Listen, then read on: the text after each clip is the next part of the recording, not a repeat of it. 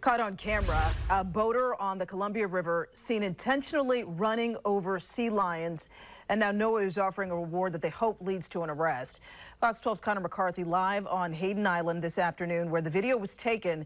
And he tells us how much money that NOAA is offering. Well, this video is truly hard to watch. It was taken on this side of the Columbia River where I'm standing on Hayden Island. It starts off with a boat coming east from Interstate Bridge, takes aim at a herd of sea lions, runs them over, takes aim at another herd, and does the exact same action. Now, NOAA hopes that a $20,000 check helps lead them to information that could lead to an arrest. It's hard to watch. A boat aims its bow at a herd of sea lions and runs them over, not once, but twice. The National Oceanic and Atmospheric Administration is now searching for the boat and its driver. Concern and, and frustration and, and probably a little bit of, of anger that this is happening out there on the river. Michael Milstein with NOAA says there are legal ways fishermen can deter sea lions from going after their catch.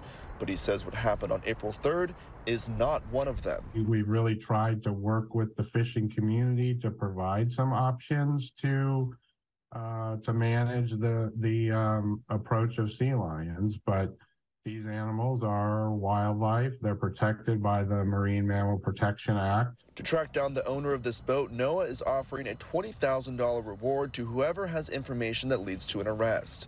Michael says the consequence of actions like this could lead to fines, seizing the boat, or even jail time. Uh, we are certainly taking it seriously. These these animals come back to the Columbia River uh, usually every year to some extent. They're drawn by the food, uh, the same the same species in some cases that anglers are going for, and uh, we we need to provide them uh, the space and, and respect that they need to live. Well, Michael says that NOAA offering a reward for a criminal case is not actually that common. The last time they did so was for a case in California of a man caught on video shooting and killing a sea lion. That reward did lead to an arrest. Now, if you do have any information, you can call their hotline number that will be on our website, kptv.com. In North Portland, Connor McCarthy, Fox 12 Oregon.